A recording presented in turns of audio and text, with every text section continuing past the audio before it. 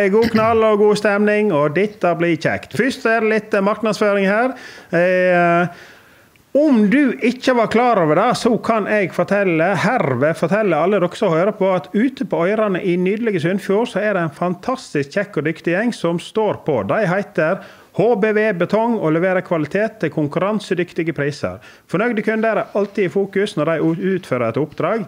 Eh, de tar på seg eh, innen betongarbeid for eh, industribygg, fjøs, landbruksbygg, kraftverk, enebostader og mindre oppdrag som støttemurer til hage og lignende.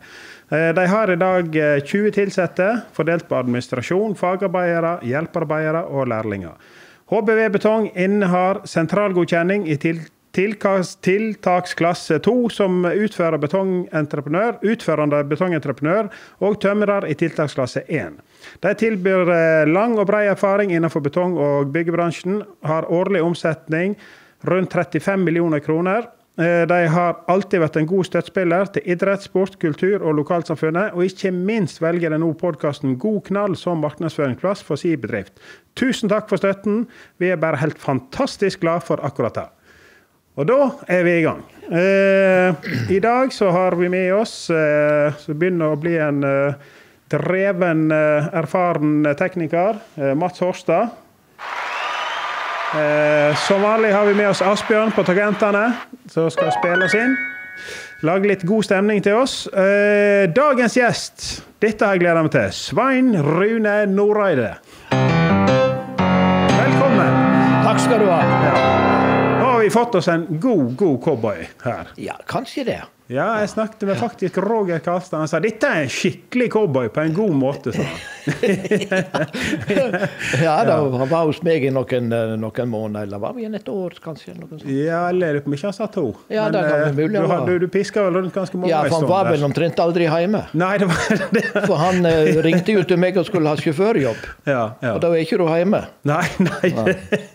det var det han sa. Ene gangen så Nærmest jeg var hjemme, det var Farsund bygg. Og så var det snu, og så var det ned igjen. Og så var det kjørte jeg ut ifra Det var nede på Alnabru, ute av en port der. Da ringte Svein Rune og lurte på hva, hva er du på kjøring. Ja. Så ja, det er hardt å være cowboy. og så hadde han en gang ned, for det var mye ekspressturer, og det var midt ned i Tyskland. og da skulle han gå over fra én bil og over til en. Og da var det selvålen Selvolden som skulle ha han med seg. Så han hadde vel en god idé om at uh, istedenfor at de måtte kjøre rundt og møtes på samme vei veier motorveien, så kunne han ta med seg dyna si og springe over. Og Der er vi fri fart på 200 km i timen. Så han sto og sikta lenge og vel, og så var det, kom seg over første til midtrabatten. Ja. Og så sto han der med dyna, sov på og tannkost, og så var det full fart med biler igjen, og så var det en åpning, og så sprang han. ja. Nei, dette var sikkert Sellevold-opplegg. Ja, ja. Han så det enkle i det av og til. Mm. Han gjorde det. Det var greit såleis. Ja, ja, ja. Jeg fikk eh, samme forespørsel her i fjor. Jeg skulle hente noe på Einekjell-stasjonen. Uh, ned på Alnabru, når du kommer på E6-en der. Ja. Så Der ligger to på høgda. Ja. Nei, Alnabru, sier jeg, opp med Bergers. Ja. ja. Og så sto jeg på en, og så sier han hin at uh, først skulle hente en pakke borte. Ja, men ikke spring bare bort og hent den. Jeg sitter og ser ned på trafikken. Dette var jo rushen der. sånn at Det kommer i 100 Så det går jo tre filer hver vei. eller, ja. No way! Så jeg kobla heller av tralla og kjørte rundt. Ja, det var, ja. Tryggere det, vet jeg. Det var det. Ja, det ja, ja. Det var, ja. Uh, Nei, vi må innom litt uh, Nå glemte jeg å introdusere deg alt her. Jeg var så ivrig nå. Ja, ikke så nøye med heller. Jo, jo, jo. jo. Ja. Svein Rune Noreide, født i 1946, altså 74 år gammel. Uh, familiemann, gift, uh, to barn, tre barnebarn. Nå pensjonist, men tidligere cowboy, trucker med store bokstaver. Interessert i lastebiler og lastebilmodeller. Ja, helt riktig. Ja. ja. Der er Altså lastebilmodeller òg. Det, det, det, var ikke rent lite jeg spurte deg så vidt her i sted, det var ikke rent lite interesse du hadde? Nei, for dette, denne der, jeg har alltid hatt interesse av bil fra jeg var bitte liten. Jeg er jo nesten født i en bil. sant? Ja. Så jeg var jo med han far fra jeg eh, var vel en fem-seks år. og Satt og så på pedalene hans inni en gammel, en gammel Fargo fra 46. Ja. Og Den var en som hadde fire pedaler. Har du? Ja. Hva de var brukt Og den fjerde pedalen, det var starteren. sant?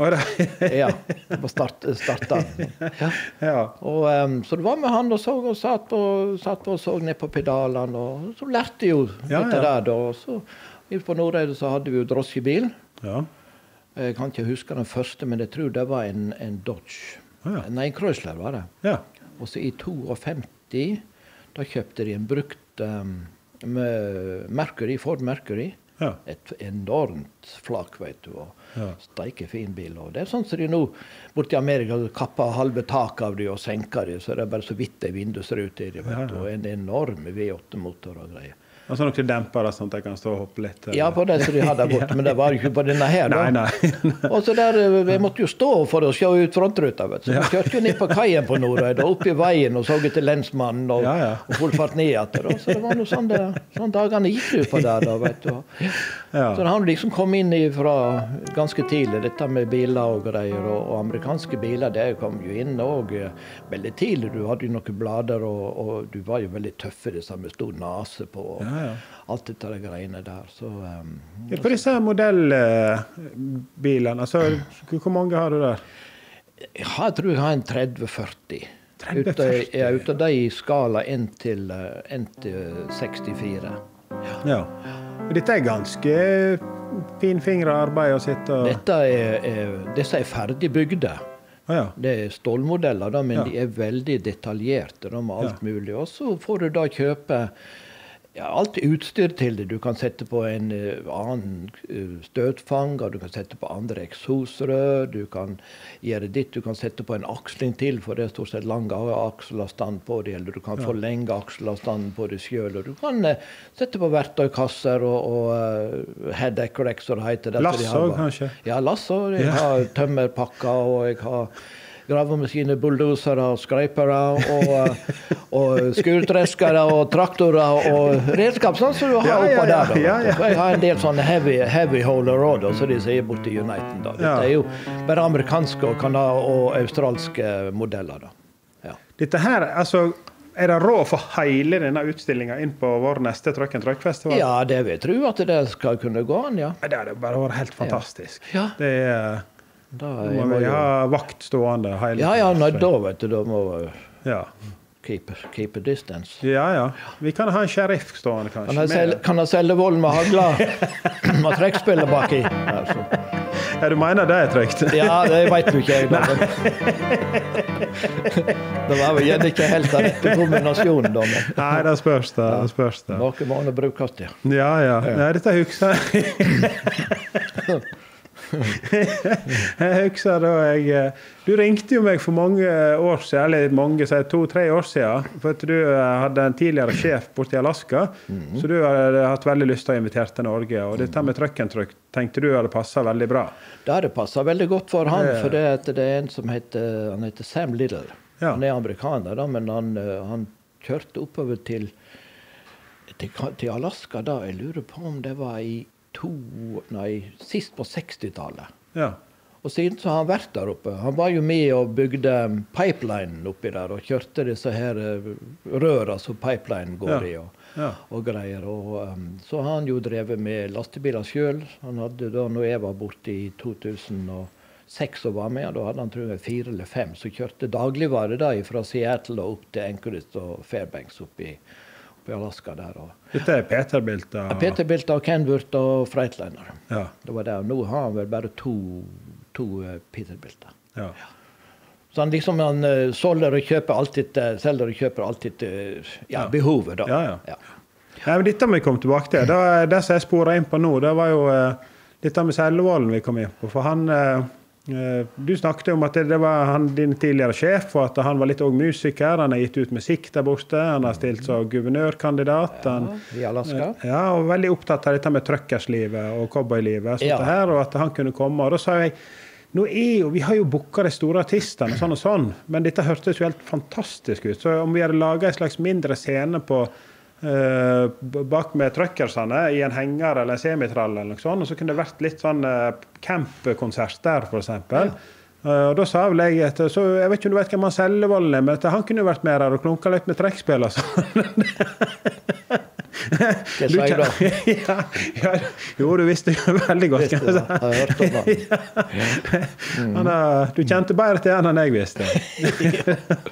Ja, da. Ja. ja, Men det var jo en god idé du kom med der, da. Ja. Ja, ja, og så sa vel jeg da, så kunne vi ha en stor sånn uh, flatskjerm bakom da. Ja. Der du kunne vise film ifra, eh, ifra ja, da de bygde pipelinen og, og The Holder Road oppe i, Alaska. da, vet du, Ja. så liksom er Men når vi er nå inne på dette, for du, du ble jo skikkelig tent på livet der.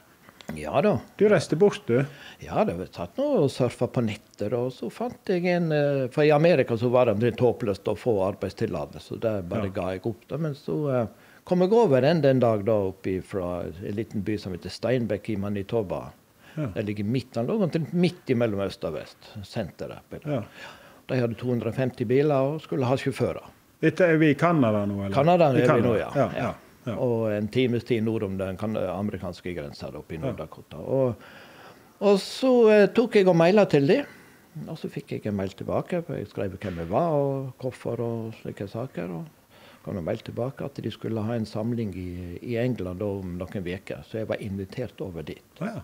Så jeg, eh, når jeg lei dit, så tok jeg flyet over. og Hvor gammel var du da? Da var jeg eh, Dette var i 2006. Ja. Da klarer ikke jeg å regne ut hvor gammel jeg var. Nei, nei, nei, men det er bare, du, du, var ingen Ja. ungdom. Det var Nei, nei, etter, var- etter at du ja, var ja, for deg sjøl. Ja, ja, ja, det var ja. det. Så jeg var vel 62 da, kanskje. Ja. Og så var jeg borte der og greier. Så jeg liker å tegne trailer òg, da. Så jeg Ja. hadde laga en tegning av en av bilene deres. Å, ja. Mm. Fargelagt den sånn stor sånn dette her, vet du. En Super B-train. En Canvert til 800. Ja.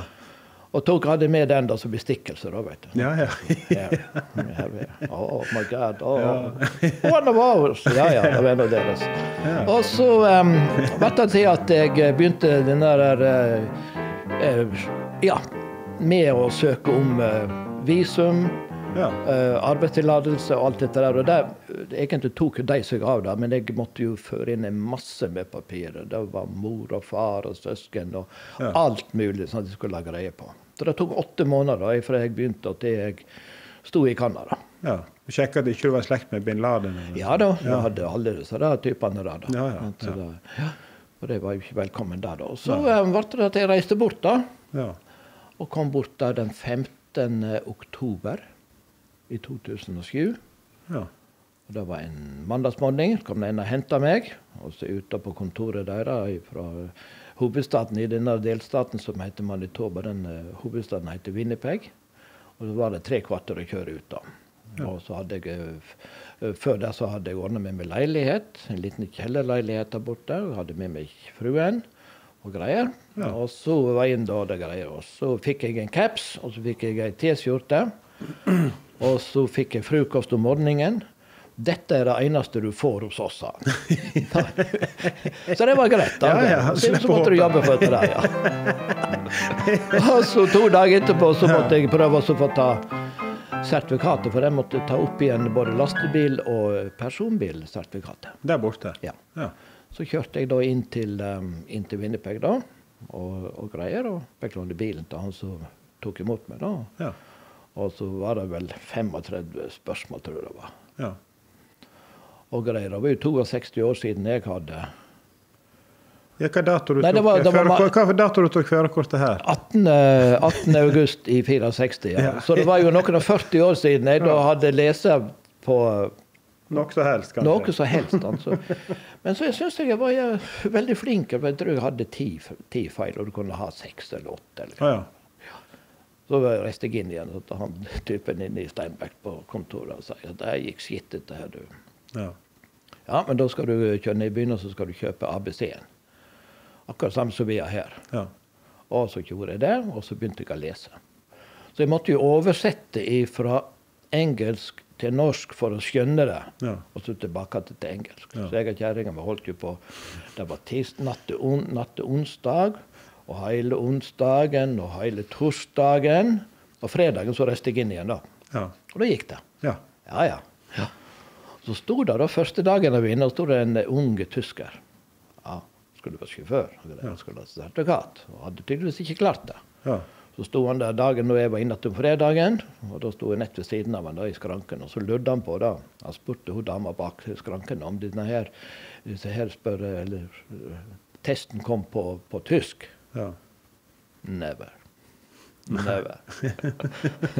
så han, mener han fikk seg sikkert sertifikater. Ja, ja, ja.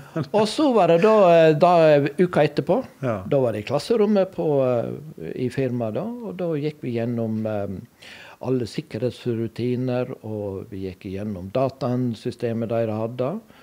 hadde og eh, ja, faktisk veldig mye. Mm. Da i hele veke ja. fram og tilbake. Og så andre veka, da var det det samme. Det var to uker da med dette der greiene der. Og så tredje uka, da var det Da var det altså De hadde en egen mann der som lærte suveren til å ta klasse to. Ja. Ja. Og da var det hver eneste dag da, så begynte du med å stille deg framover denne fæle bilen, da, og så skulle du si det at støtfangeren sitter på, eh, nesa sitter på, og så gikk du da bakover på venstresiden, og skulle du ta i skjermen. Denne sitter fast, så måtte du si hele tiden. Ja. Følge for dekkene, måtte ta i speilene, i tankene, alt sammen. Du måtte si hele veien rundt. Og når du kom bak på trallere, så måtte du legge deg under og så måle slaglengda. For det var ikke eh, automatisk eh, bremsehevearmer. Ja. Og så når du da var ferdig og sitte på alle lysene bak at de virka, så skulle du da si også Og så det samme på høyresiden. Dette var i seks, nei, fem dager. Ja. Og så da inn i fjerde veka, det var akkurat det samme. Helt til torsdagen. Da kjørte vi av og ut et par timers tid for da kom bort til Biltesyn. Så Ja. kjørte jeg opp da med en stor, kraftig, koselig kar. Vet, Ja. og så vi prata litt om Norge, for det var jo var mye nordmenn oppi der òg, da, fra gammelt av. Og, Ja, ja. Og så kjørte jeg en tur rundt i byen der, og så kom jeg inn, og så inn på en stor plass, og så gikk han ut, og skulle rygge meg bak i noen kjegler, og så skulle jeg stoppe bak der. Så var det så vidt kommet bak. Altså. Put on the brakes when and come in. Inn, og så fikk jeg sertifikat. Altså. Ja. Og så lørdagen da, så kom det en annen sjåfør. Da hadde jeg fått meg bil og greier. Kenworth T800. Og greier, og flatbed og styr. Og så kom det en annen gammel sjåfør da, som skulle kjøre tre-fire timer vestover og laste der. Eller bytte tralle, da. Han var tannløs og fæl. Det der, vet du. Var Riktig en sånn hillbilly. Ja, Ja. Og så setter vi fra oss de trallene vi hadde, og så um, kobler vi på de som tok ferdig lasta. Og så sa han det at nå for, kjører vi bare hiver over to stropper. Vi hadde noen sånne konstruksjoner til, eh, til hus. Ja. Jernkonstruksjoner til sånn lagerbygg og greier. Ja. Og nå hiver vi bare over to stropper. Og så kjører vi ut på en parkplass her ute, for da kan vi gå opp på tralla. sant? Men hvis vi begynner å gå opp på tralla våre her inne, så blir det et helvete. Ja, det. For da måtte du kjøre bort en plass der de hadde sånne, i, sånne, sånne stropp i, i taket, Ja, ja. og, og sele på deg og dette ned. Og sånn. Så det var så mye arbeid med det. Der. Og så drev vi på i fem timer da, og større lasset vårt og legger på presenningen. ja. Og ja, det var åpne traller? Ja. Ja. Liker det å se hva du har på. Det syns Ja, jeg er greit. altså. Ja. Litt arbeid med det òg, da. du. Drev på i fem timer. Det så litt mørkt på det. For det var jo mørkt ute for kvelden da, vet du. Og så var det av gårde mot Edmonton, da, vet du. I snøkav og noe. Så, men det, det gikk jo en, en dag Hvor er disse bilene vinters eh, Nei, det, vet jeg, det er jo øh, harde dekk på de. heller. det er jo øh, radialdekk, da, men det, det var ikke noe sånn uh, seiping her. eller noe Nei, nei. sånt. Nei, det var store knaster alt sammen. Ja.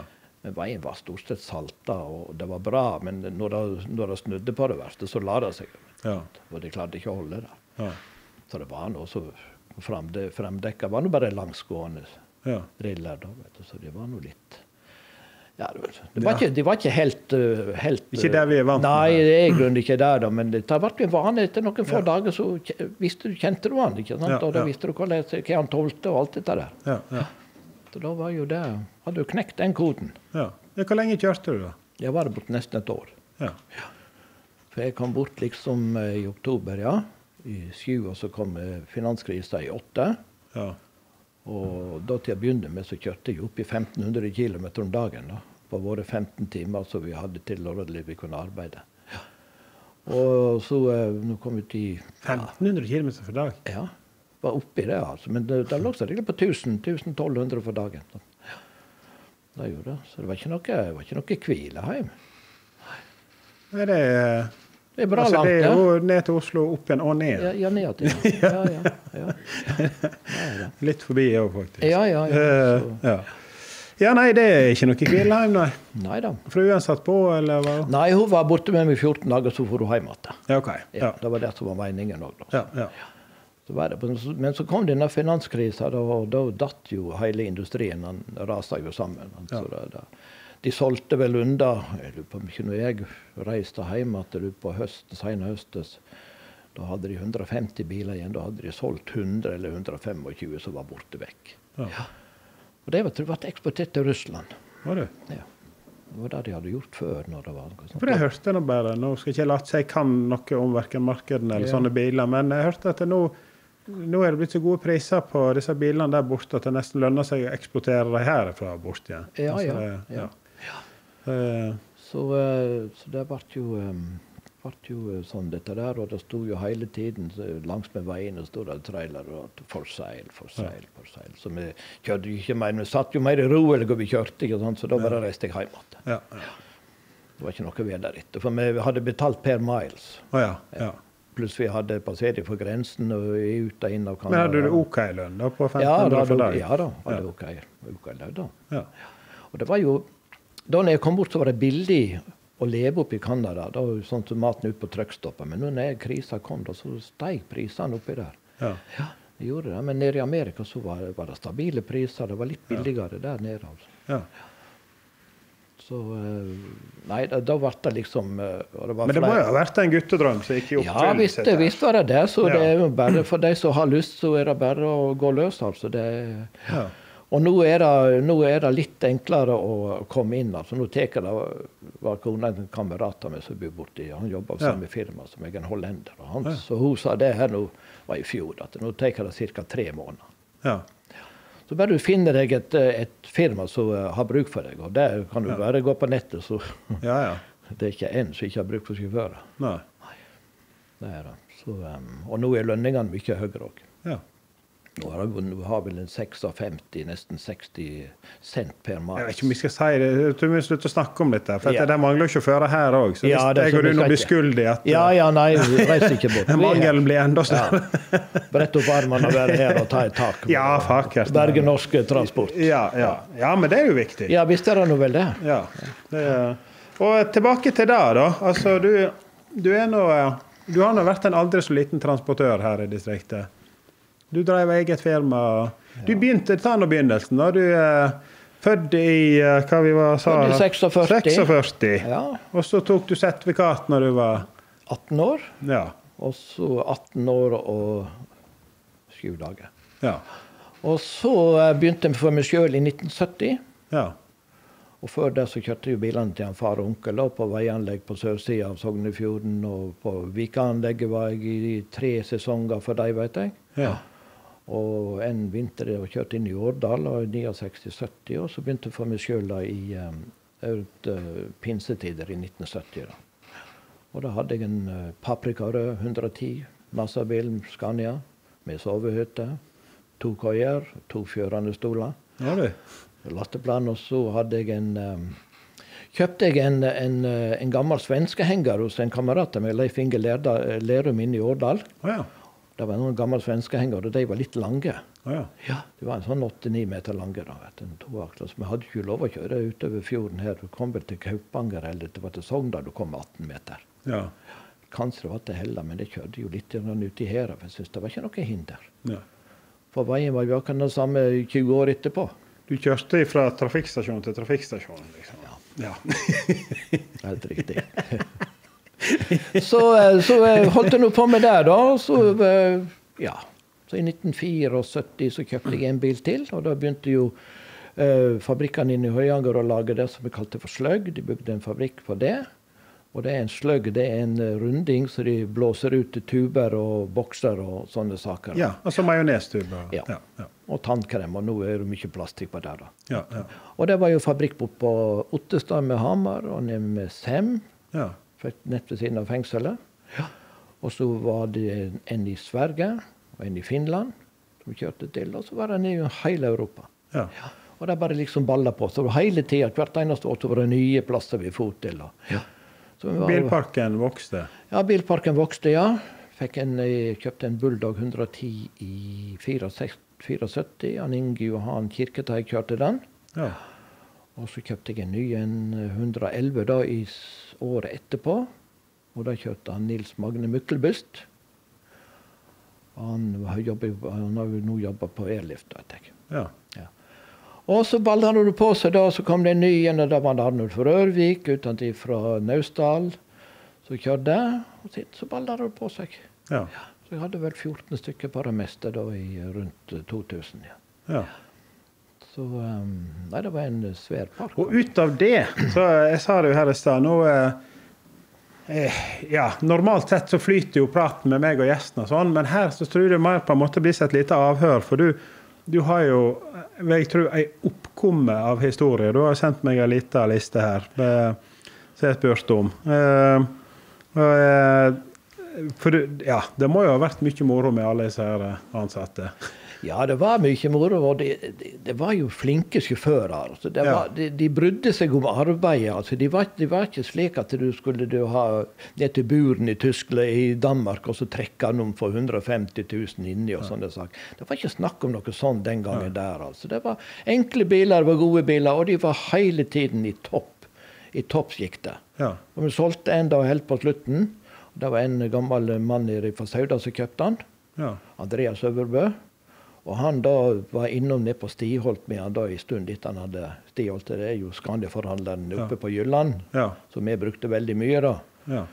Og, og, jeg hadde jo masse service og greier der. Og så var han innom da og skulle ha en, liksom, en liten sjekk på denne bilen her da, som han hadde kjøpt hos Nordheiden. da, vet du, for ja. Han stolte nå ikke helt på han da. Så kom han inn til han Jensson, heter han nedpå der, da, og så sa han det at ja, jeg vil gjerne ha en liten sjekk på denne bilen her og si at alt er i orden alltid gjør dette er en bil som Noreide har hatt, sånn, så denne er i orden. Ja. Så du kan bare lie, køre videre. Ja. så, nei, de var alltid, var alltid i orden. Altså. Det var ikke, vi hadde omtrent ikke noe brudd, eh, havari etter veien. Altså. Det var bare kanskje hjullager på en henger eller noe sånt. Ja. Eller så var det sånn. Ja, men hadde du noe vi hadde jo Scania, da. Det var noen girkasser da, som ikke var helt som de skulle. Så vi hadde vel noe problemer med de rundt forbi i Europa. Ja. da, Det hadde vi jo. Ja. Men eh, stort sett så uh... Men dette er nå litt holdninga di òg, da. Så vi Roger i stad sa at det, det som så kjekt å jobbe for deg, at det var alt i orden. Og var det noe, så fiksa det med en gang. Ja, vi, vi gjorde det. der. For ja. vi, vi, skulle jo levere varene våre, vi skulle ikke stå etter veien og reparere. Det var ikke ja. noe, noe gagn i det. Var ikke noen som var tent med det. Ja. Det var som regel dyrere. Så vi hadde godt forebyggende vedlikehold på bilene. Ja. Hadde vi, og det, det sa de når vi ga oss òg. Og så var det folk som sa det at synd, sa han at eh, du skal, må gi deg her, for at du har alltid hatt et ord på det for at parken din har vært 100 eh, Ja, ja vi har lagt mye vekt i det, sa jeg. Det skal være sikkerhet ute på veien. Kjekt, kjekt å se tilbake på. Ja, det er ja. egentlig det. da, vet du. Du får litt, sånn, litt positive tilbakemeldinger sånn innimellom. da. Ja, ja. På dette der. Så, nei, det var vellykka, det. Mm. Jeg... Ja. Nei, disse karene der, de kunne vel skru litt? De kunne vel uh... Ja, du kunne komme inn der. Da het han Bent, Bent Nilsen. Han var verksmester nede på der når jeg begynte. Så kom du inn på plassen der, og så var du inne og så sa du Bent, du får komme ut og høre på det. Noe, så jeg tror jeg er ikke helt sikker på dette her. Jeg får komme ut, og så. Bare kør inn, sa han. Og så kjørte han inn, og så hadde han fiksa det som skulle fikses. Ja. ja. Ja, for der er jeg. Altså, jeg, ja. jeg er rett inn på verkstedet. Jeg, altså, ja. jeg har ei verktøykasse i bilen, men uh, da blir det verst jeg må ha hjelpes en eller annen gang på et eller annet vis. Men, Nei, og da var det jo billig å reparere nede i år der. For, for det at, og så var det jo det ikke, Skal ikke rakke ned på disse norske verkstedene, men det de gikk ikke så mye der nede. Nei. De hadde en mann som, som gikk og henta deler på, dele på verkstedet. Og så mm. for det mekanikeren han gjorde den jobben han skulle. Ja, det er klart. Altså, for det er jo av stor betydning på sånn kjøring, vet du. At uh, du kan være inne der i en time istedenfor å stå i fire timer. Ja, ja. Altså, det er kanskje ei ferge og en hel tur igjen. Sant? Ja, ja, ja. ja. Det måtte, måtte, skje med en gang, dette der. Og det var inn med en gang du kom, da, vet du. Sant? Så var det inn og tok det, og så var det ut igjen. Ikke rart Roger måtte sprenge over motorveien med dine. Ja, det er klart han måtte. Ja, ja, ja. ja, ja. Og jeg, jeg brukte, jeg, brukte verksted nede på skifterbil, Volvo nede på Padborg eh, veldig mye når vi skulle ha bremseoverhaling og, og sånne saker. Så hadde jeg noen, noen treaksla hengere, ekerigreier. Og så Ja. var det tid for bremseskift og greier, og da ringte jeg ned en fredag og sa jeg kommer mandag, så står jeg der om morgenen. Står om morgenen og rugget inn bilen og hengeren og kobla ifra. og Det var klokken halv åtte, og nesten før jeg var kommet ut, så var hengeren kommet ifra. På hver side da, så sto det ei vogn, og der lå alle, og så lå det tre, tre komplette nav og bremsebånd. Det lå på hver side, en mann på hver side. Og så sa han det, vaktmester, nå kan du gå og spise frokost, og så skal vi ringe på deg. Ja. Klokken halv ti så ringte han, nå kan du komme og koble på og køre syd på. ja. Ja, var ikke noe bedre det. Nei. Ferdig med. Ferdig Det er arbeid. Ja. Opp imot sånn Formel 1-greier. og det er Ja, ja, det var, ja, ja, det var nesten før du hadde fått kobla av, så var, var hengeren kommet i lufta. Altså. Ja. Du må liksom ete litt fort. Du Ja, du, måtte, ja, du kunne ikke sitte der og lene deg tilbake og så tygge sakte. Nei, du måtte, Nei, nei. ellers så kunne du Nei da, Ja, ja. var, Ja. var topp det. Altså. Ja. Nei, så vi, vi hadde mye der nede, altså. Jeg har veldig tro på filosofien og ta ting på forkant. Ja, ja. til sjuende og sist er det nok det kanskje billigste Ja. du gjør òg. Jeg tror nok også Ja. å- stå langs veien det er ikke alltid like kjekt. Nei, i grunnen ikke. Det blir så regel skal du ha ut Scania-hjelp eller Volvo Ja. Action eller det der, så vet du hva det koster. Ja, ja. Altså det, Ja. og variabel kompetanse. Og Det òg, ikke minst. Ja. Ja. Eh, skal vi se eh, Bedford eh, J6.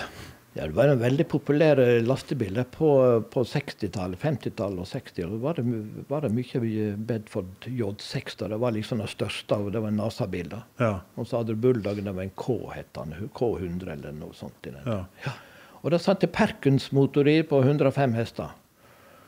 Og ja, jeg brukte denne bilen inn på Vikafjellet, inn på anleggene der. Kjørte i tunnelene og, og greier. og så var det en sommer da kjørte vi oljegrus fra Vika opp på fjellet.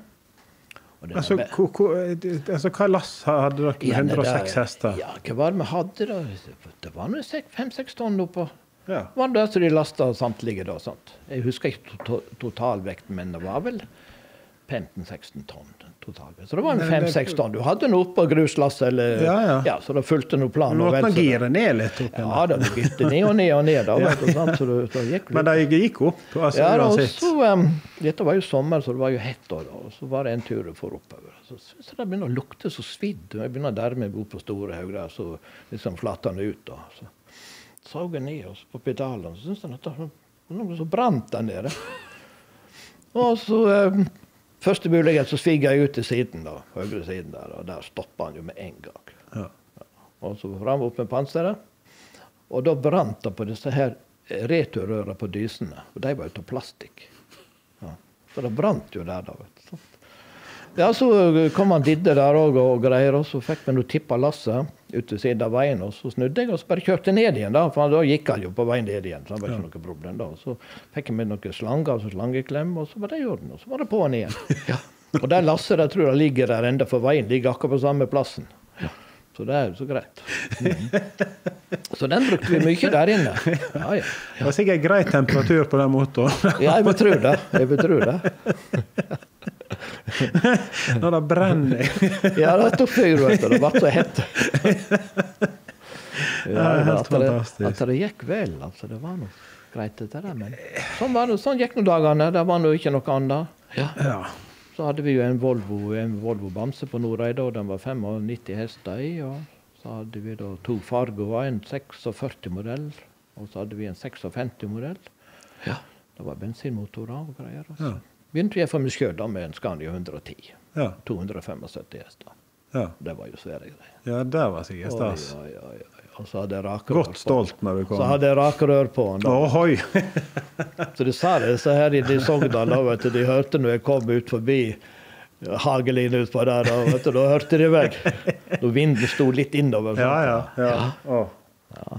det er tøft. Ja, det var litt gromme greier, dette der. Ja. Ja, så ble det nå Så jeg vel Jeg har vel hatt en ja, mellom 40 og 50 biler Ja.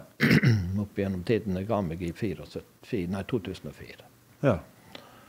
siden så har jeg nå vært litt og Var det mest opp og ned på kysten nede i olja, da, som de sier nede i Stavanger. Ja. Kjørte hos Per Bortam ute i mange, mange år. Oh, ja. ja. Kjørte hos Longline hos BB Transport. ja. Og, eh, men du har òg kjøring Årdal. Var Vi kjørte jo mye i Årdal da i vinteren 69-70. Ja. Da var det utbygging inni der, og de bygde en ny fabrikk på Tangen som, eh, der de jeg tror de støpte kanode, eller sånn eh, anodekål i det. Og der var det jo en hel delegasjon med tyskere som var og murte disse ovnene der. Og da kjørte vi stein, henta stein nede på Borgestad, ned med Porsgrunn, og ned til Årdalstangen. Og da kjørte vi seks turer i uka. ja. Seks turer i uka. Kjørte tomme ned da. Og så eh, begynte der nede igjen mandagsmorgenen og lasta. opp i Årdal og lossa på kvelden. Og så var det så langt ned at du kom, og så tok det noen timer over rattet. Eller bak i køyen. Par-tre timer. Og så var du nede igjen da og henta neste lass. Og så var du opp igjen og loss om kvelden. da. Og den, eh, på den tiden så var det jo sånn uh, nattestenging på Årdal Tye. Stengte Ja. klokka ti, så du måtte jo rekke der ja. for å komme over. Selvfølgelig. Ja. Og så var det da den vinteren Så var det noe stort sett eh, bra vær. og sånn, eh, Det var kaldt, lenge kaldt. og Sånn som ned Bagnskleiva, da, gamle veien ned Ja, der. vet du, ja. Så var det nå bare å legge bilen og henge det på brøytekanten, for den holdt jo sant, ned gjennom der. Altså. Og så eh, ned gjennom der, da, så fauk det jo mye. vet du, Så lå vi fem-seks biler i følge. Da du traff en personbil, og sånt, så var det siste du så, det var bremselyset, vet du, for da ble det jo mørkt for han. vet du, sant? Og så var det en dag vi kom opp igjen til Årdal. da. Vi kjørte jo for han Einar Kristiansen der inne. Han hadde jo mye biler. Og, han var jo valdressing. Og så eh, var meg og Leif Inge Lerum og greier, og så kom vi inn på kontoret kom inn på kontoret til Einar. Og så sa han det at ja, i går så ringte, så ringte lensmannen i, i, i, i fra Bagn.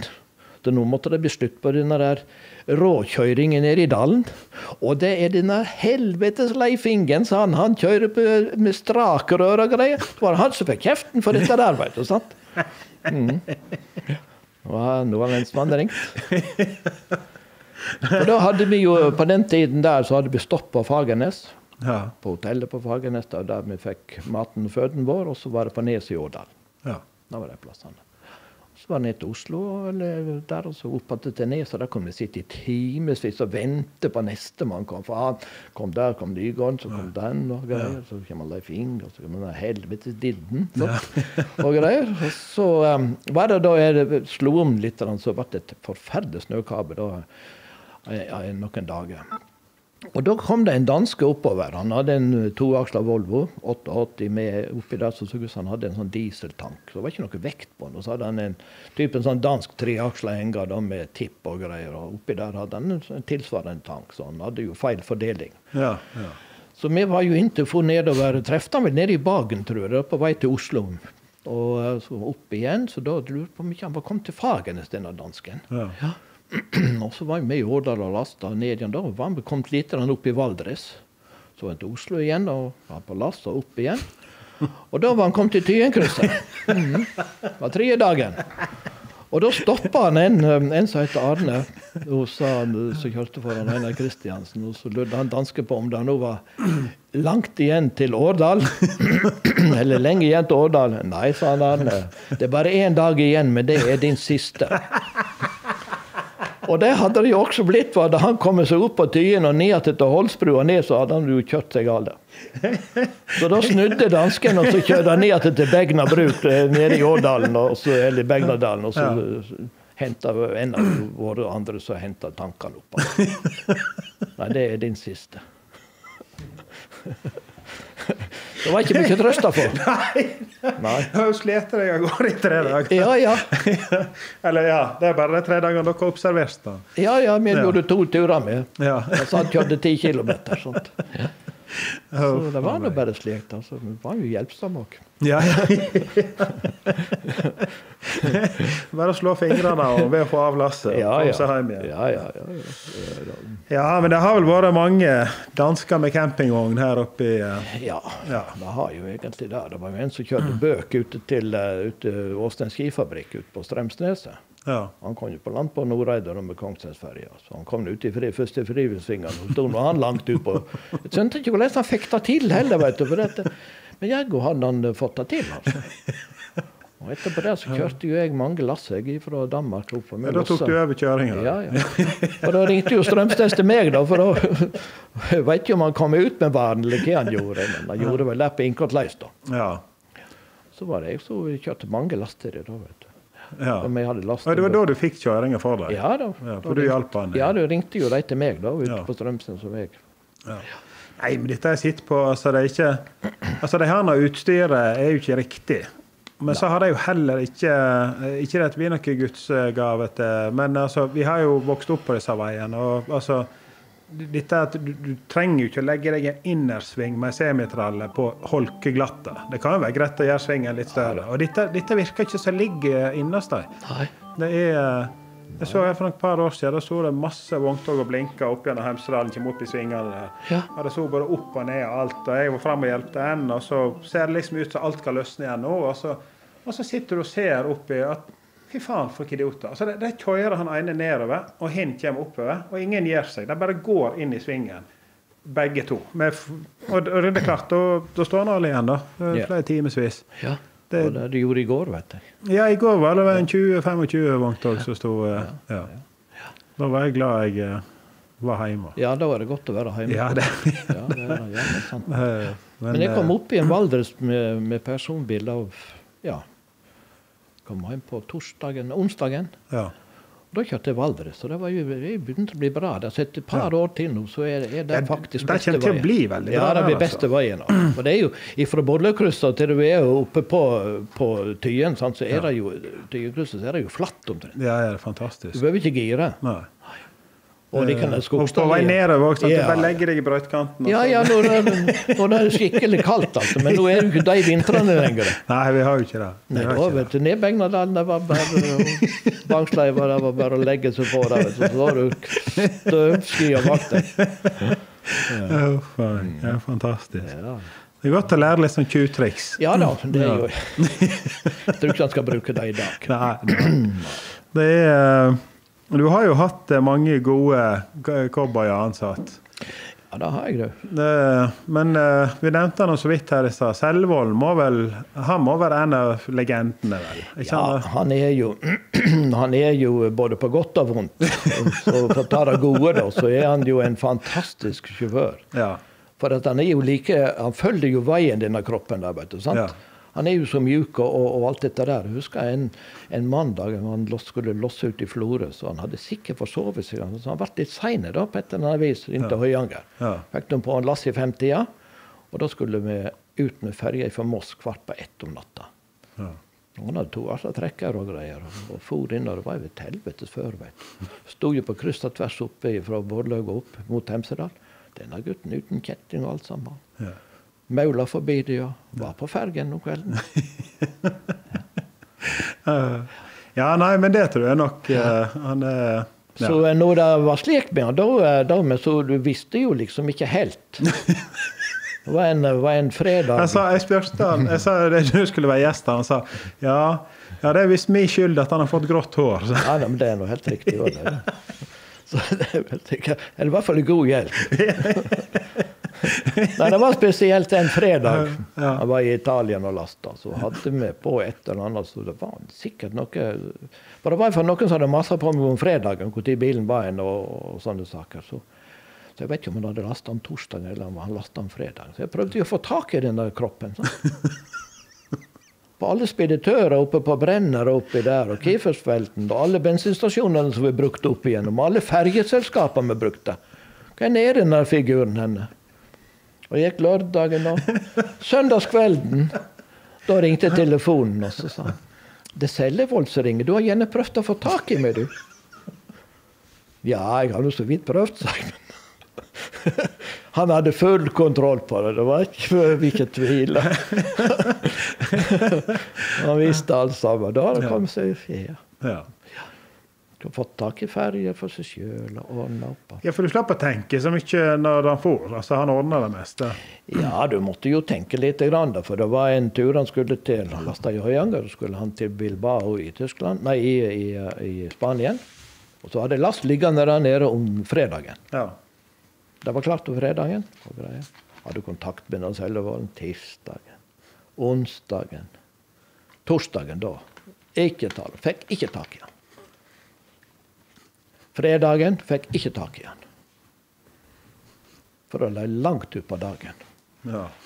Da hadde han jo fått lossa. Så da måtte jeg jo eh, ordne med, med lastingen. Tror jeg måtte laste enten bare sene kvelden eller lørdagen. Da. Så vi fikk det jo til, da, vet du. Men Ja, ja. visste jo liksom ikke alle. Men alltid Hva hender det? Ja, nei. Det bare, å sitte her oppe i, uh, ja, ja, det var i dette for distriktet, og så styre Ja. folk der nede, det må jo ja, Spenninga må jo være å ta av. Ja, det var jo egentlig det. Men de var, det var dyktige sjåfører jeg hadde. Ja. Det var dyktige sjåfører. De gjorde en fantastisk jobb. Du kunne sende dem av gårde på de mest eh, hasardiøse, opplegg. Sant? Og du kom attendett like blide. Ja. Ja. Så det skal de ha. Altså, det, var, det var aldri noe de var, de var der når de skulle. Så, ja. Sellevolden litt slik. Ikke han alltid var der. Når du visste jo liksom du var, Det var en denne fredagen. Ja, når du liksom du, du, du var varen, så var ikke det jo så var vi noen kamerater. Ja, ja. Det var ikke noe. Han var flink på trekkspill òg. Denne var flink på trekkspill, og det er jo mange som har fått tørt han rundt om på ferjene. Ja. Jeg fikk Ja. Ringte ikke de på fergen? Ja, det var noen flere så ferjeselskaper. Det var samtlige, da, så vi ville nå liksom ikke ha noen Sellevolden om bord. Det var det rett og slett, Jeg måtte fortelle da at eh, hvis jeg ser trekkspillet ditt i bilen, ja, så tar jeg og så legger det under drivhjula så kjører jeg over det. Seg. Det er eneste sjansen vi har her. Seg. Ellers kommer vi oss verken ut eller inn av landet. Ja, ja, nei, det var helt i orden. Det var greit. Han skulle ikke ha trekkspill. Og så var det en stund etterpå så var det på ei ferje. Og da kom han dragende med, med toradar. Har? Og så var jo, det var jo mesteparten visste jo om dette, at ikke han hadde lov å ha trekkspill med seg i bilen. Ja, men Hadde ikke Norheim gitt beskjed at du skulle ikke ha trekkspill med deg? Ja, men han sa ikke noe om toradar. Så det var så greit. Ja, tøff òg. Ja, ja, ja. Nei, nei, nei. nei. Og så var det han og, og Sogne, Sogne Knutsen da det kom opp ifra Han var på Ekspress nedover og hadde last til Bergen. Og så var det den gangen Fjordline fra Hanstadholm opp. da. Eller Sitrans var det hette, tror jeg. da. Og Da var ikke det trekkspill i bilen og sånne saker. Så sa Sogne Knutsen det at hva faen, ikke før kommer inn i korridoren på Moruferja, så hørte jeg trekkspillmusikk. Da var det Selvold som kom med trekkspill. Da var det visste sikkert at vi forrige det mye, sånn at du kjente en inn på det, og så hadde trekkspill. Så da var alt i orden. Da var showet i gang. Ja. Show must go on. Ja, ja, det må ha hatt det jævlig mye moro. Ja, vi hadde det fantastisk tid, altså. Ja. Ja. Ja, det var fantastisk. Men hvor ble det stranda du på kontoret hjemme, eller fikk du være med og kjøre litt? Eller? Jeg kjørte jo, jeg satt hjemme på kontoret i nokså mange år da. Ja. Men, eh, men eh, ellers var det kona som drev butikken, og jeg var ute og Verna hun drev butikken. Et fantastisk menneske. Ja, altså Hun Hun ha hatt det flere år og ikke har sett så mye til deg. Ja da. Det, det, Du rakk hjem og la Ja. Hvor mange unger hadde du? Det var to? Ikke? så nei, jeg var jo hjemme Vi var stort sett hjemme i hvert fall annenhver helg, da. Når vi for på kontinentet, så for vi gjerne hjemmefra på La oss si vi for på lørdagen og ferja ut på, fra Oslo på, på søndagen, så var vi hjemme igjen om lørdagen. Og så lasta vi om lørdagen, og så for vi ut igjen med ferja om søndagen. Så du tok det inn en dag, da. Sant? Altså. Nesten en dag. Og så, så Totningene de kjørte jo, kjørte jo støttfanger fra Raufoss og nedover. Du, Ja. og skraut av dette, hvor mye de kjørte. og greier. Så vi kom jo inn i lag med dem om fredagen i Oslo, og de skulle jo bare til Raufoss. Og Vi skulle jo losse flere plasser i Oslo. skulle vi til Braskereidfoss og hente ikke sant? Og skulle vi opp her og losse opp i Førde en par-tre plasser. Ja.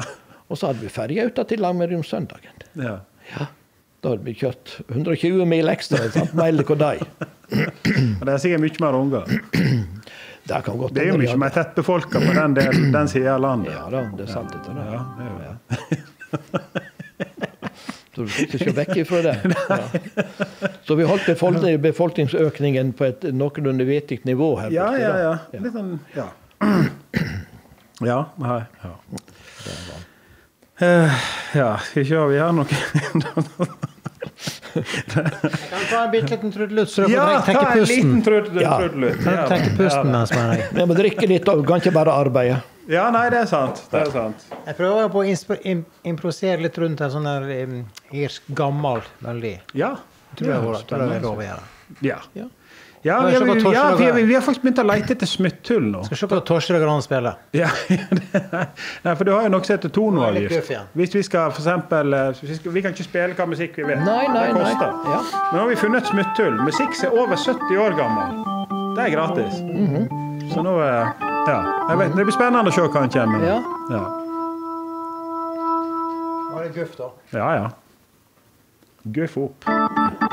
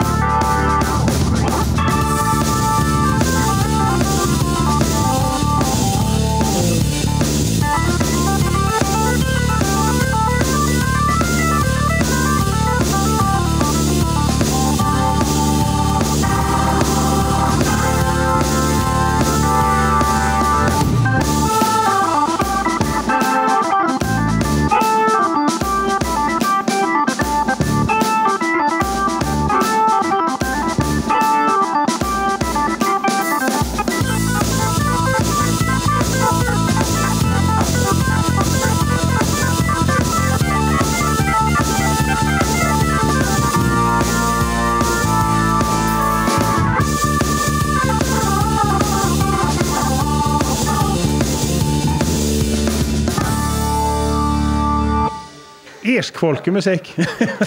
Ja, altså, med litt improvisasjon rundt. ja, ja, okay. Ja, det må nå være veldig improvisert. Ja, ja, ja. Nei, jeg prøvde å peke, men jeg så du var levd deg inn i musikken. Men du skal se fingrene snart begynner å vri seg opp Ja, ja. ned her. Ja. Jeg tenkte på var mer sånn uh, riverdance, vet du. Sånn. ja. Danser du riverdance? Nei. Har du prøvd? Nei, jeg har ikke prøvd det. Du òg, Janne? Eh, ikke det jeg husker, men jeg sannsynligvis. Ja, Ja. akkurat. Det er en liten selvvold i meg òg, tror jeg. Ja, ja, ja, ja, ja, ja, ja. Det er godt, det. Ja, det er ja. det.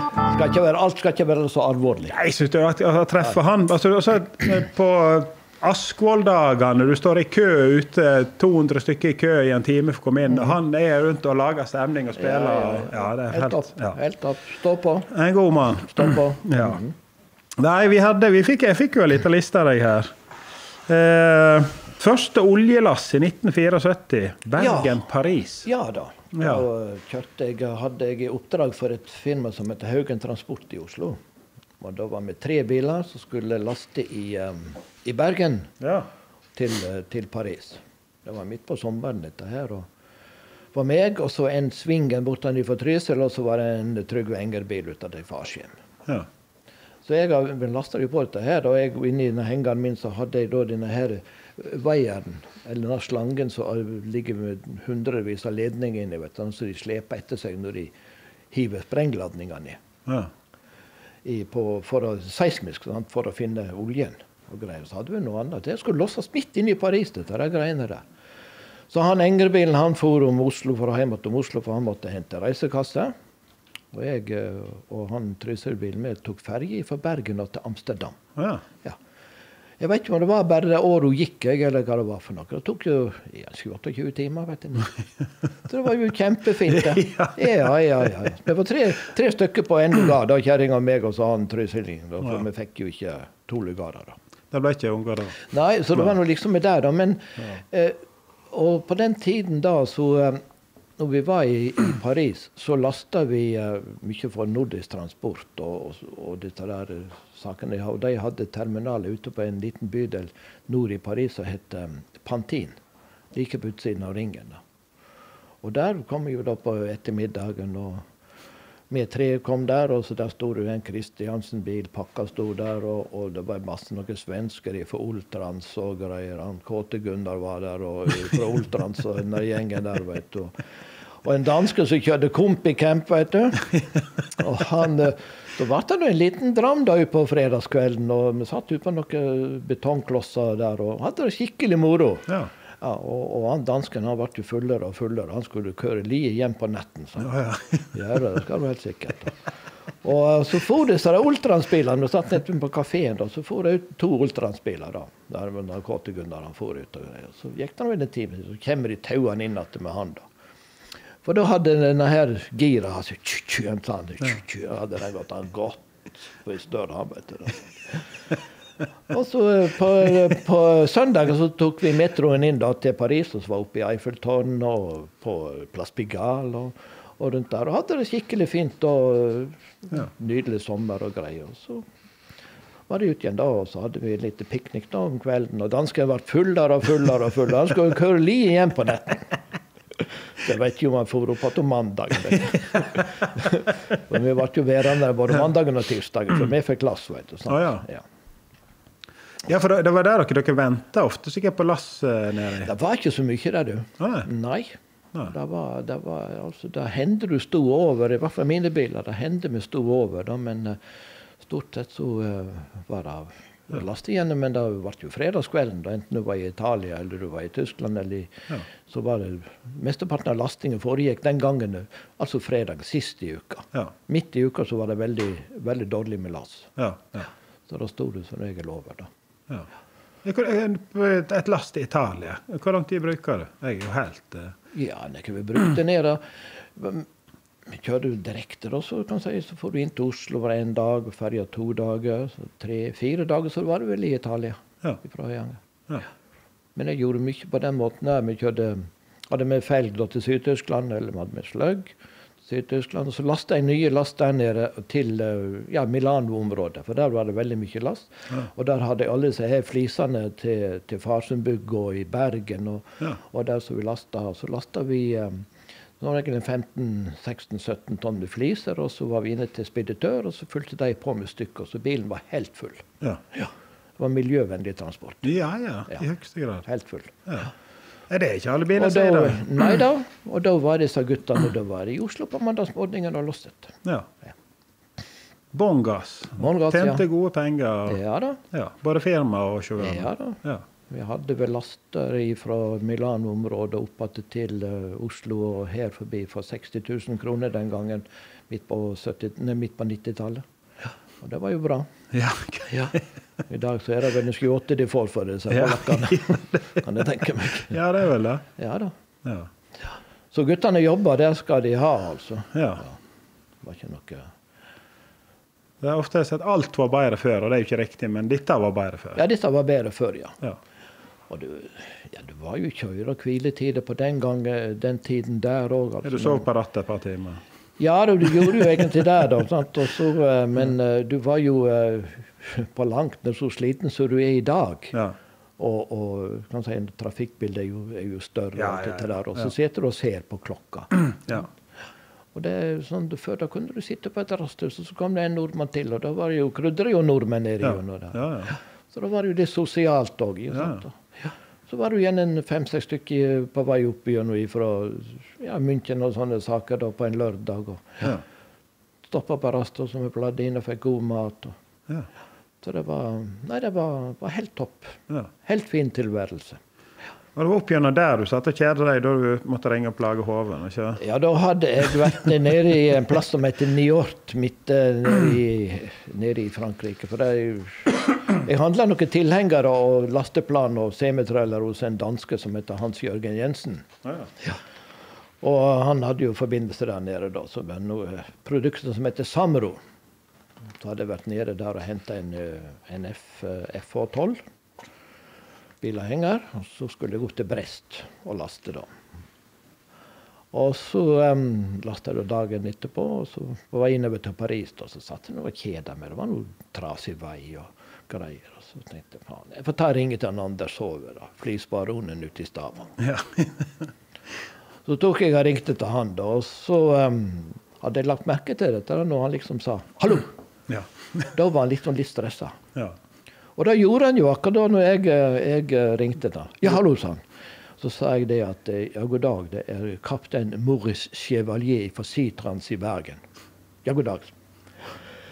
Så lurte jeg på er det mulig å få bruke kaien din og få låne kaien din for jeg skal inn og losse en kolli. Og like før så hadde det vært noe i radioen eller avisa om at kaien der ute var så dårlig. Så han tørde søren ut, vet ikke om jeg visste om han tørde å gå ut på. og så eh, var, drog han jo litt på dette der, da. Ja, nei. Ja, var store båt, da? Ja, han var 2967 brutto registertonn, sa jeg. Å ja, ja ja, men da fikk jeg nå heller gå, da. Men er han stor i denne collien, da? For det var bare én collie jeg skulle ha, da. Ja, han er 300 tonn, sa jeg. Og så ble det helt stille. Hele stund. Og så sa han å du din helvete. da tok han meg. Og så spurte jeg han da, kom nå hjem igjen etter noen dager. da. 'Hvordan tok du meg på dette der, da?' Ja. Jeg begynner å tenke på hvordan skulle han Endre Gundersen klare å få denne vekta med kranbilen sin. 300 tonn han Endre Gundersen. Ja, han hadde jo sikkert prøvd òg. Ja, han kommer da uka på. Det er klart han hadde gjort. For han kviste jeg ikke. Å nei, å nei. Nei. Det er ikke han i det hele tatt. Det- Det er vel litt av legende i seg sjøl, han òg. Og Maurice Chevalier han er jo en, eller han var jo en fransk eh, sanger, han vet jeg. Ja. Men han var jo plutselig kaptein på siden Da av Bergen. Hoven har ikke hørt så mye på han. oh, ja. ja da, du satt jo forskjellige ting, vet du. Ja, ja, ja. Ja, men, ja vi fant ut i dag vi ikke skulle ha tulletelefon, men jeg tenkte da kan du fortelle om eh, en tulletelefon. Ja, det kan jeg gjøre, da. Ja, ja. Da fikk vi han. Der fikk vi han. Uh, Uhell på Voienenga. Ja da. Jeg hadde en som eh, het Alf Kristiansen, som kjørte hos meg, en østlending. Ja. Og han hadde vært på ekspresstur med felg nedover Tyskland, og da hadde vi med lensmannen, Ja. Sveumen. ja. Han var med, det var Sellevolden som kom dragende med han. da på, så han, var nå med oss i Han kjørte jo litt for meg òg på egen bil, da. Ja. Sveumen, ellers var han med på Ekspresser da, greier. Så var det han Alf Kristian som hadde vært. Og så kom opp til Oslo, og så skulle du på Voienenga og eh, laste tomme bruskasser og flasker opp til Lerumfabrikken. ja. Mm. På der, og så hadde han en, Alfen hadde en tank bakpå denne der hengaren eh, hengeren og greier, så det var litt glatt å gå oppå der. og så skulle han opp der og så stue innpå, for alt, alt var jo håndstua. sant? Ja, Det var ikke noen paller eller noe sånt den gangen der. Da stua innpå. Du jobba jo. sant? Ja, ja. Satt ikke og trykte på knapper for at måsevinger skulle gå opp eller dass skulle gå av. Da du måtte jobbe for pengene. Og så der datt jo denne Kristiansen, han datt jo i bakken. Ja. Og doktoren kom jo, sykebilen kom og tok han jo på, på hospitalet. Og han var jo litt mer redd da, stakkaren. da. Og dette hadde jo denne cellevolden fått greie på. Så han ringte jo til lensmannen. Utga seg for en doktor. Om, eh, om han lensmannen kunne gå ut og se om det var merke i asfalten dersom han Alf hadde datt ned. Og lensmannen selvfølgelig ut og kikka. Han var jo pliktoppfyllende. Åh. Denne Sellevold. ja, ja, det ble ikke kjedelig med han. da. oh, Det er helt sikkert. Men hvordan han hatt greie på det, har ikke peiling. Men det var bare litt en stund etterpå, så var han på tråden. Ja, det var, men det er jo bare helt fascinerende. Altså, Skjer det noe langs veien, Ja. det tar ikke lang tid Nei. før så å si hele Transport-Norge vet det. Ja. Det er et enormt nettverk. Ja, Det, er- ja. ja, det det. Så han samme Alf Kristiansen han kjørte jo hos meg i flere perioder. Han var litt på kontoret da på slutten. Så hadde jeg en Mac, jeg, Semi. Og så var det en, en, en sommer i Teleløsninga så skulle hjelpe han Jon Jotebø i Vadheim å kjøre eh, sånn natriumgreie natriumgreier ned til, eh, til, Tofle, til Tofte. da. Ja. Jeg hadde en sånn 20 fots container sto bak på tralla og, og saker. og Lasta i Vadheim. De brukte sånn, Du skulle tømme et lager med sekker. Ja. Så de brukte sånn skruer til å skru det opp, en sånn som de har på gårdene. Ja, ja. Og så var det ikke sånn spesielt mye merking, ikke bare noe dokument dokumenter på dette greiene der. Sant? Det var nå på 80-tallet. Og for jo ned, og så kom han ned i Valdres, tror jeg, av Kristiansen, og så ble det kontroll og greier det på, sikkert på leira, kanskje. Altså. Ja, sånn papirer. Nei, jeg ikke noe papirer på det her. Vanlig det ligger under i tanken der. Ja, Men tenk om du, tenk om du kjører ned i elva da, og velter uti der, da. Jeg skal for faen ikke ned i noe elv. Jeg skal losse på Tofte. Ja. Så det var jo så greit. Det ikke hjelp noe bare. Ikke noe bry seg med det andre. Da skulle ikke ned i elva. altså. Ja. Så, enk så enkelt var det. Så enkelt var dette der, ja. Og julegate i uh, Gersing... Nei, Gelsenkirchen i Gelsenkirchen. Ja, det Ja. var jo før jul. da Vi var jo nede og skulle levere noe, noe slagg sant, fra Høyanger. Og, Senere natta var vi to til tre-tida. jeg for inn igjen. Så jeg lurer på om jeg kjørte litt feil. Så jeg kom ei gate eller tre litt lenger bortover. Satt nå igjen og blingsa litt, så du fulgte ikke helt med. da. Og Der var flott julegate nede, og ei fine, beine gate. der, vet du. Og den hang jo på, på kappene til Noreid når han kom i andre enden. Da lyste det blinket bak meg. Det vekte meg å røske dette vekk, for jeg kom meg i skjul. De hang, så er fornøyd han som har hengt opp det. ja, de hang jo for lavt, vet du. sant? Ja, det var jo deres feil. Ja, ja, ja. ja. Og deres feil. Ja, Ja, hva faen. Det Fire, fire meter høyde i Tyskland. Ja, ja, ja det skal Ja, være. ja, ja. Det er, ja, det er litt enklere tyskerne. Der er ja. Foruten han som har hengt opp hjulet. Ja, ja, men det- det er forferdelige påstandige, og det er når de har liksom fått inn i huet at sånn skal det være. Ja. Du kan du komme til en speditør eller til en liten fabrikk og saker, og, og han skulle da ha fem meter ut av tralla di eller noe sånt. da. Og du hadde gjerne da en palle. Så da sto innpå de fem meterne, så tenkte da i begynnelsen at kanskje han tar gaffeltrykken og så løfter han nett opp på det godset framom der, så har vi fem meter. Ja. Og det ble jo som regel et helvete, da, veit du hvor jeg satt da. Og så kom jeg en dag nede i Bronsveig. Hadde vært nede med felg, og så lasta vi da tompaller opp igjen. Sånn som vi brukte å kjøre disse felgene ned på. De var 60 ganger 20, og så var det masse sånne tynne plater imellom, og så var det finerlokk. Ja.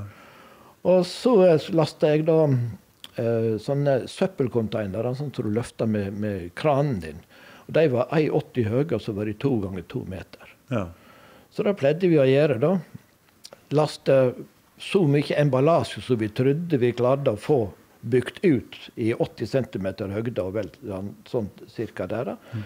Så da lasta vi jo der dagen før, og så brukte vi da noen timer ute på en truckstop for å lø dette her ned og lage flatt gulv. Så det var mye arbeid med det. Ja, ja. Og så var jeg litt lei da sent på kvelden og tenkte nå skal jeg få flytte disse to siste stablene og vri dem til. da. ja.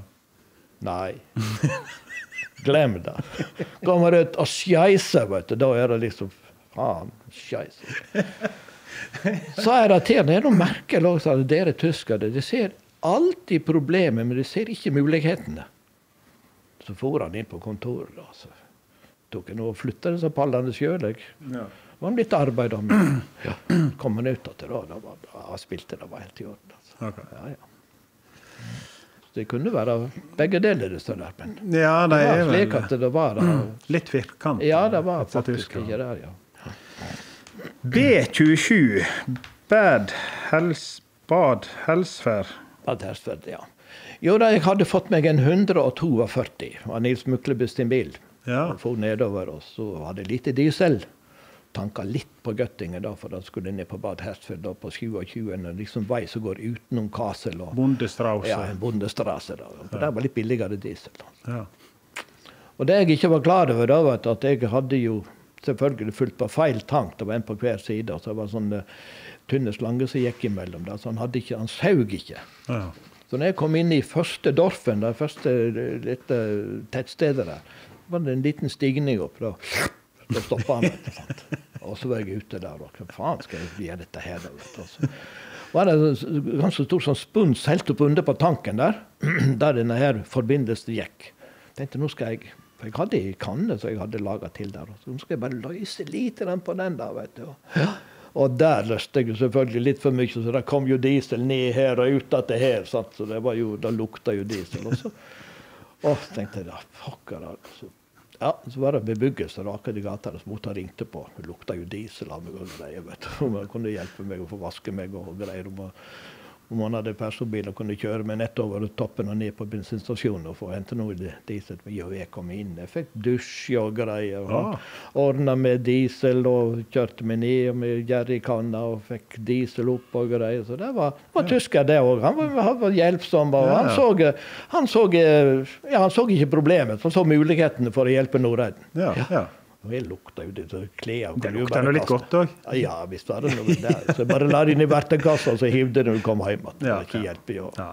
Dette går vel ikke av? Nei, ikke det, sånn, eh, nei, det er ikke når du var helt gjennomdunka. og så sa han, det, det, han sa vel han Nils da han kom hjem at ja, du skulle jo ha gjort sånn og sånn. Ja.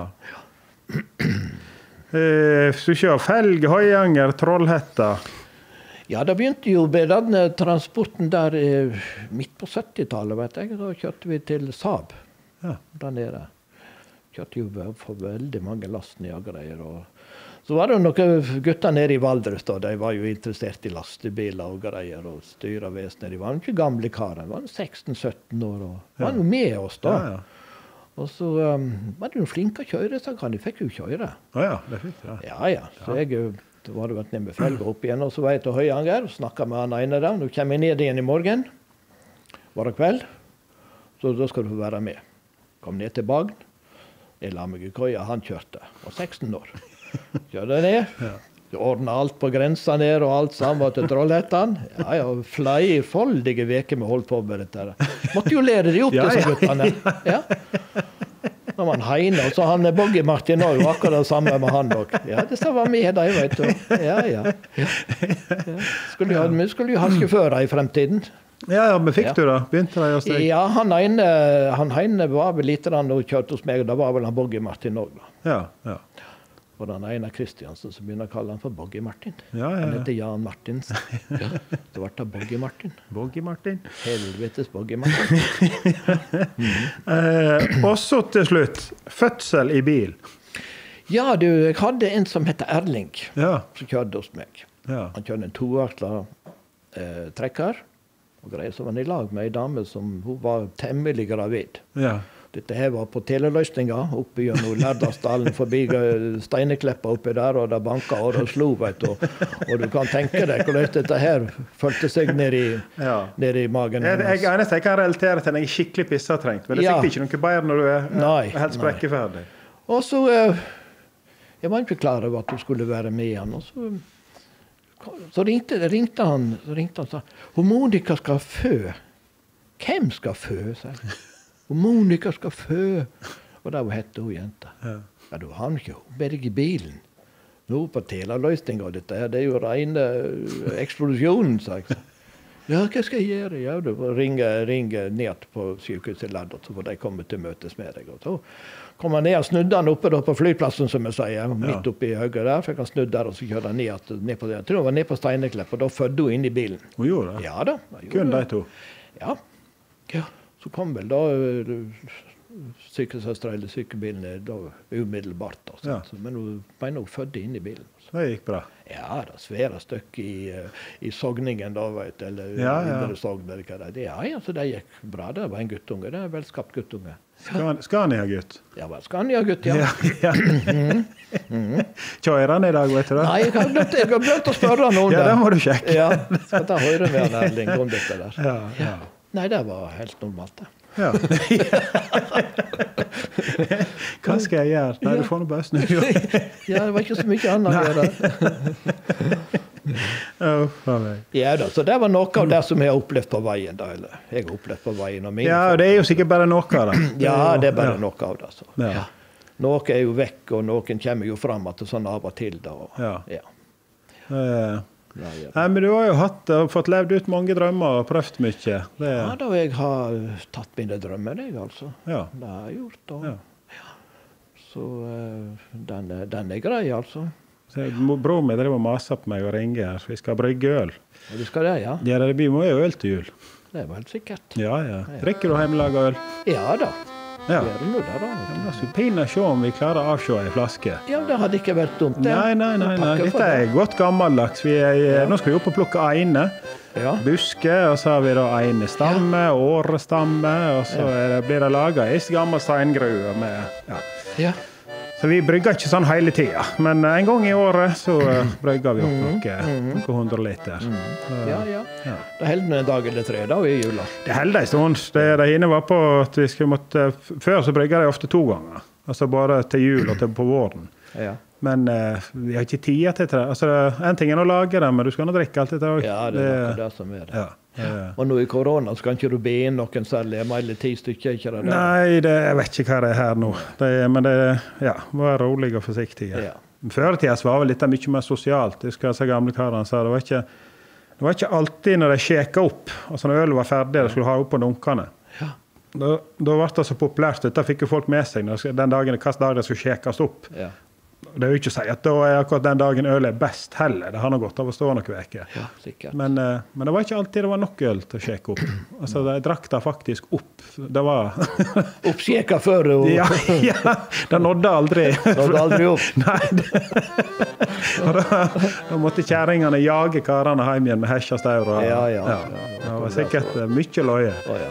ja, det tenker jeg. Omtrent en trailersjåfør.